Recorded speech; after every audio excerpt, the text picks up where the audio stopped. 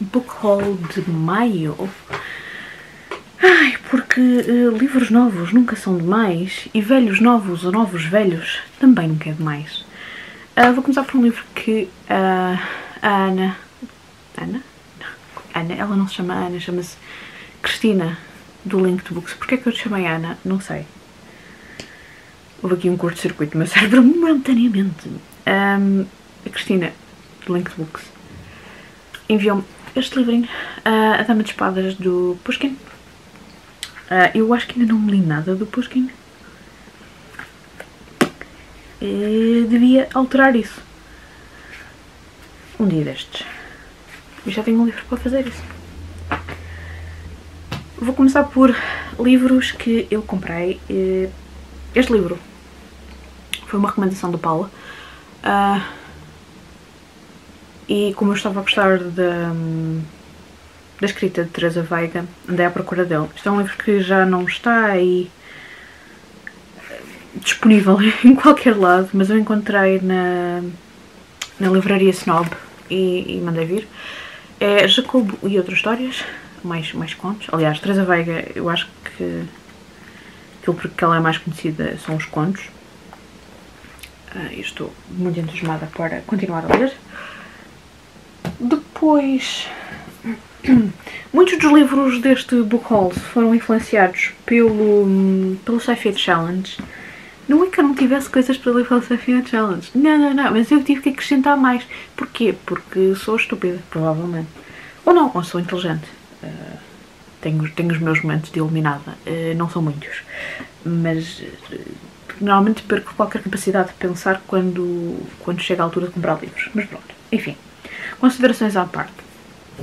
Havia uma pessoa que estava a vender estes dois livros, o Gemina e o Obsidio, que é o volume 2 e 3 do Illuminate File, do J. Christopher e... Christopher? J. Christoph e Amy Kaufman, um, que são é uma trilogia de ficção científica que, para além de ser ficção científica, é um livro que, como vocês podem ver, tem uma paginação fora do usual. Portanto, é uma maneira diferente de contar a história. Não quer dizer que seja, não posso dizer que seja completamente fora da caixa, mas fora daquilo que nós estamos habituados os livros estavam a um preço muito, muito, muito interessante uh, e por isso mesmo eu aproveitei. Mas claro que depois tive que ir à procura do primeiro volume e também encontrei um, ah, um preço muito interessante. E aqui está ele. Espero começar uh, agora para o Sci-Fi Challenge. Tenho até final de agosto para o fazer, mas gostava de começar um dia destes.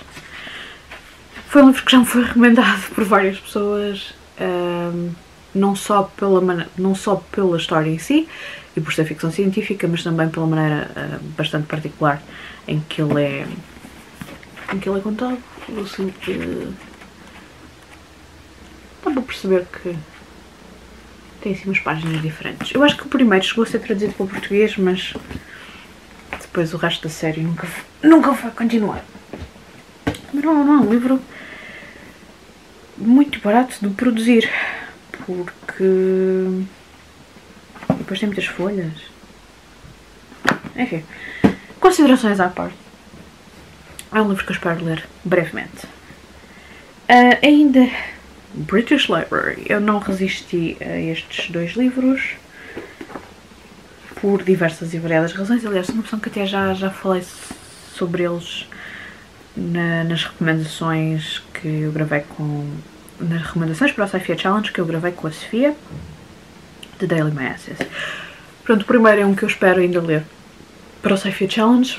Uh, é o The Darkest of Nights, do Charles Eric Maine. Este livro faz parte de uma coleção da British Library que se chama Science, Science Fiction Classics. Este é um clássico dos anos 60 e que fala sobre uma praga que começa na Ásia Este e que rapidamente se espalha pelo resto do mundo. Um, e quando a pandemia chega perto do, do Reino Unido, uh, caos acontece, entre outras coisas. Qualquer semelhança com os dias de hoje uh, é coincidência. É ficção científica, como eu disse no, no outro vídeo. não sei, pareceu-me que, que, era interessante. supostamente o livro aborda como é que as pessoas reagem a, a calamidades e não sei, parece-me que era uma leitura de veras interessante e acho que poderá ser interessante fazê-la agora ou não. Um, vamos ver, depois reporto o que é que acontece quando eu finalmente ler o livro. O outro é o Beyond Time, sim, não tem tanto reflexo. Uh, Classic Tales of Time Unwound, uh, editado por Mike Ashley. Este é uma antologia de contos, de histórias relacionadas com viagens no tempo, provavelmente. Ou. Sim, viagens no tempo. São histórias que supostamente vêm da Golden Age of Science Fiction. Charting the chronology of time travel narrative from the. Ui, 1880. Eu vou tentar dizer datas em inglês, é melhor não até aos anos 50. Sim, acho que vai ser, acho que vai ser interessante. Um, eu li poucas coisas com viagens no tempo. Uh, confesso que também uh, a capa atraiu-me bastante. Esta capa é de veras uh, interessante. Dos autores que estão aqui, eu tenho ideia que só conheço o H.G. Wells. Exatamente. Os outros não conheço, mas irei descobrir quando ler o livro ainda de para a Sci-Fi Challenge uh, mandei vir o volume 2 do Custom Circus uh, Rouse Human uh, do Michael Alex e que, que eu li o primeiro desta série em 2019, salvo erro, uh, e que fiquei sempre curiosa em continuar a ler. E aqui estou eu. Passa-se numa Lisboa do futuro, ou do passado, quiçá. Um, é do futuro. 2360. Uh, e, e é um livro de Dieselpunk. O terceiro livro já saiu o ano passado, acho que foi o ano passado. E o quarto está para sair. Mas, mas pronto, vamos um livro de cada vez uh, e também uma leitura que eu espero fazer agora para o Safia Challenge. Os últimos três livros, uh, à semelhança do book haul anterior, uh, foram livros que eu comprei porque houve pessoas que contribuíram para, para a sua compra, mesmo não sabendo que estavam, para, em particular, a contribuir para a compra destes livros. Uh, portanto, estou a falar do, do, do Coffee e das pessoas que têm contribuído com, com coffees. Um, e o primeiro livro deste mês é este: Horror, a Literary Editado por Javier Aldana Reis. Uh, é uma edição da British Library qualquer opção com a British Library. Não, não tenho. Não, não, não. Não, é impressão vossa, não tenho nenhuma opção. Não, não, não, não. Nada disso. Uh, isto é um livro de uh, ensaios por vários autores. Ensaios. Uh, se calhar a palavra correta não seria ensaios. Bom, enfim. Um, que fazem história literária do género de horror. A começar. Um, 1740, portanto com o gótico, até uh, 2016, portanto post-millennial horror. E eu acho que vai ser extremamente interessante. Uh, muitas vezes, uh, quando se fala de horror, ou algumas coisas que eu tenho, alguns livros que eu tenho encontrado sobre o género do horror, um, focam-se mais no cinema, mas não é bem a parte que me interessa mais, interessa mais a parte literária e daí ter uh, quando vi este livro. Achei que era extremamente interessante. Existe também um, uma versão para ficção científica, mas ainda só existe em capa dura. Talvez a Sofia o compre e depois eu peço-lhe emprestado. Ou não. Veremos. Uh, um outro livro que também chegou cá à conta de, de cafés foi este. Uh, espera, assim. A maravilhosa viagem de Nils Holgersson através da Suécia, da Salma Lagerlof. Primeira vez que este livro está completamente traduzido, ou na íntegra traduzido para português. Uh, foi também uma tradução do, do João Reis. Uh, as ilustrações também são. É um livro que é ilustrado à antiga. Uh, estas edições da Sextante são muito interessantes eu, pronto, eu gosto desta, desta parte aqui acontecido. Uh,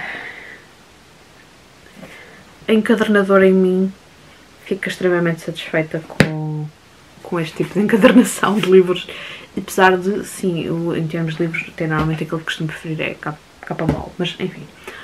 Uh, eu estou curiosa em conhecer este, este livro. É um clássico de literatura infantil, infantil, penso que não seja infantil, infantil juvenil, que seja mais infantil. E, pronto, é isto. É isto que eu tenho a dizer sobre este livro. Um, e por último,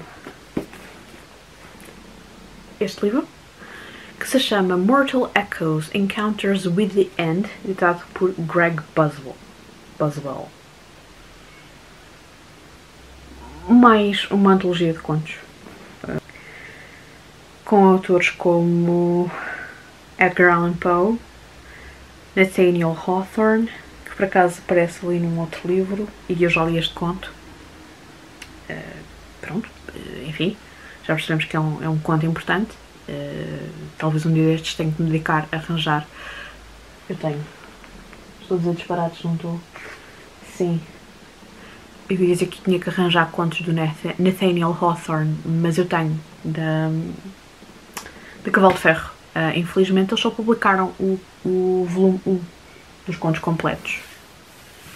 Cavalo de Ferro, porquê que não continuaram? Aliás, porquê que não reeditam? Que é para depois poder ter o volume 2? Eles estão a ouvir, certeza que estão.